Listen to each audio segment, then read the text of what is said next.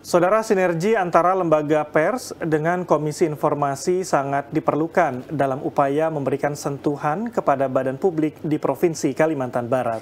Adanya badan publik daerah ini yang dinilai kurang loyal dalam memberikan informasi, bahkan cenderung diperlambat kepada insan pers harus menjadi atensi penguat sinergi dengan Komisi Informasi.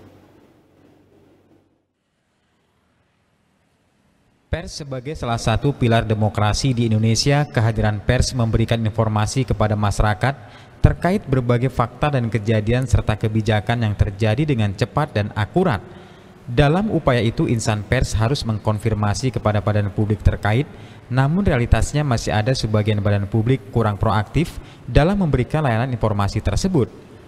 Menurut Wakil Ketua Komisi Informasi Provinsi Kalimantan Barat Katarina Pancer Istiani, maka diperlukan sinergi antara pers dengan Komisi Informasi dalam upaya memberikan penguatan kepada badan publik yang dinilai belum proaktif juga terkesan masih lamban dalam memberikan layanan informasi yang dibutuhkan insan pers. Uh, sentuhan ya kepada badan publik bahwa kebutuhan kawan-kawan pers itu relatif uh, lebih cepat bisa dilayani secara lebih uh, tepat begitu ya karena kebutuhan pers ini kan menyangkut waktu ya tentu saja juga uh, kecepatan itu sangat penting apalagi di era sekarang sekarang terjadi sekarang juga inginnya sudah sampai ke masyarakat.